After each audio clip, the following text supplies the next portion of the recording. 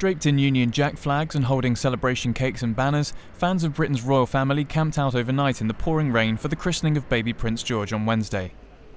The third in line to the throne and son of the Duke and Duchess of Cambridge will be christened at the Chapel Royal inside St James's Palace in London in a break with royal tradition, which normally sees high ranking royals baptised at Buckingham Palace. A handful of supporters braved the winds and heavy downpours that fell most of the night and early Wednesday morning to ensure a good view of arrivals at the historic palace. It was um, it was awful last night with all the rain. Um, we got soaking wet, but we uh, we want to be here for the um, christening of Prince George today. We were at St Mary's for him being born, and I felt that you know I had to come here um, for him being baptised. Some believe Prince William and his wife Kate chose the Chapel Royal because that was where his mother, Princess Diana's body, lay after she died in a Paris car crash. Archbishop of Canterbury Justin Welby, spiritual leader of the Church of England, will conduct the private 45 minute service in the Chapel Royal at 2 pm. Only close family and friends will attend.